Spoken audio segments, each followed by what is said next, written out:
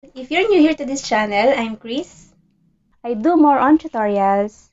Please subscribe if you haven't subscribed yet and don't forget to hit the notification bell so you don't miss anything.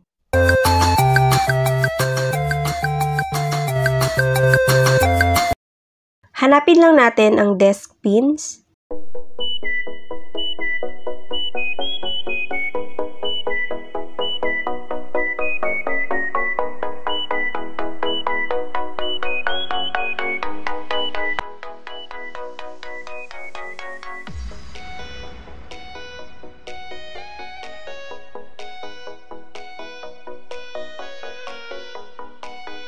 Yung ita-download natin.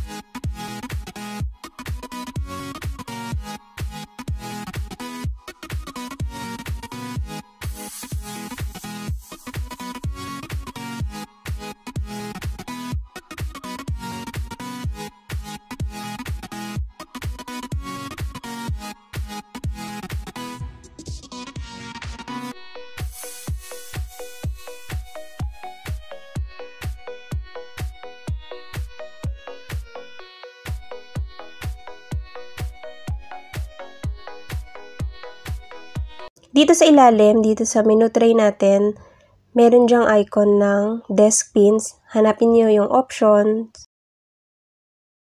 Dito sa options, andyan yung settings niya. Pwede nyo palitan yung color ng pin.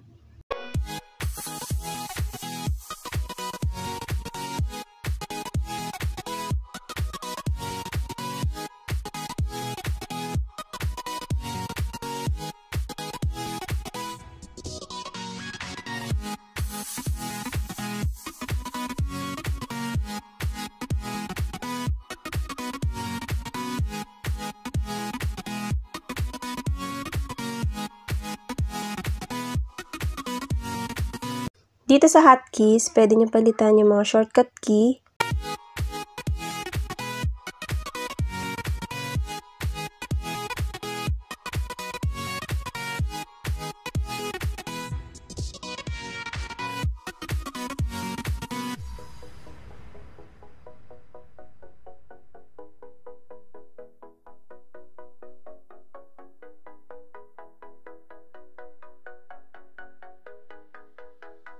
Ayan, nag-open ako ng Microsoft Word.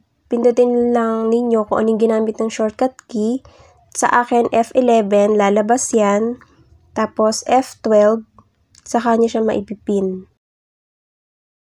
Kapag gusto nyo siyang i-unpin, may makikita kayong ganyan na may X. I-click nyo lang yung pin na yan, mawawala na yan.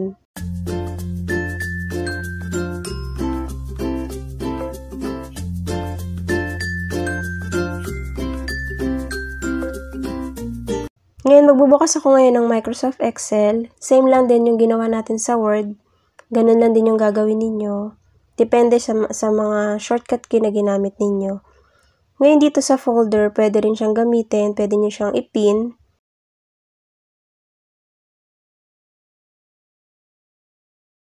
Ngayon pupunta ako sa channel ko. Nakikita ninyo itong folder na to. Nandyan lang yan, nakalutang lang yan dyan.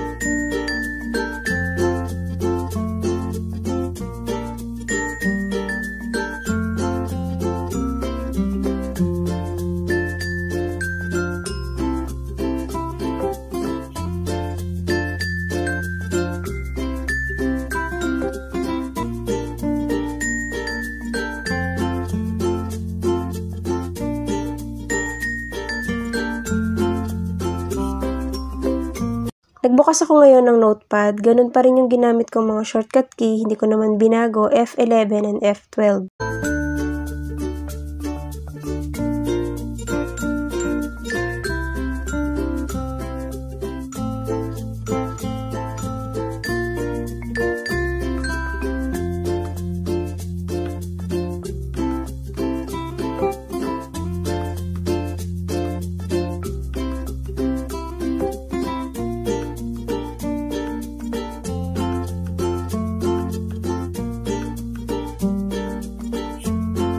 Makikita ninyo, kahit pumunta kayo sa ibang site, andyan lang yan, nakalutang lang siya. Pero kung gusto niyo siyang i-unpin, i-click nyo lang ulit yung pin na yan.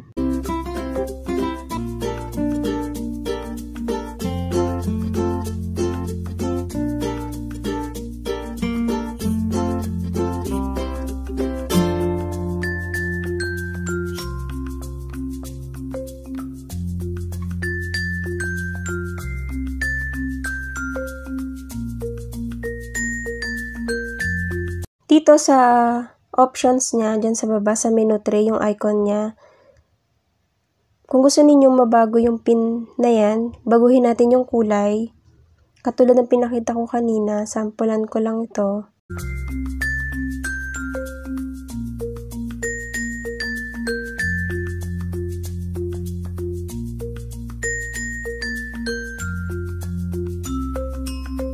Ayan, pwede nating baguhin yung kulay.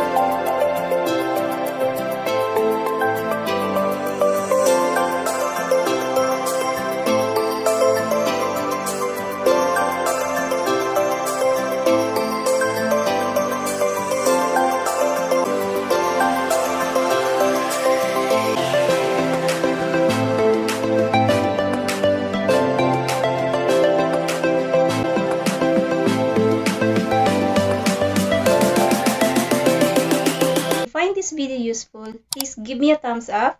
Best thing that you can do to support me, please subscribe.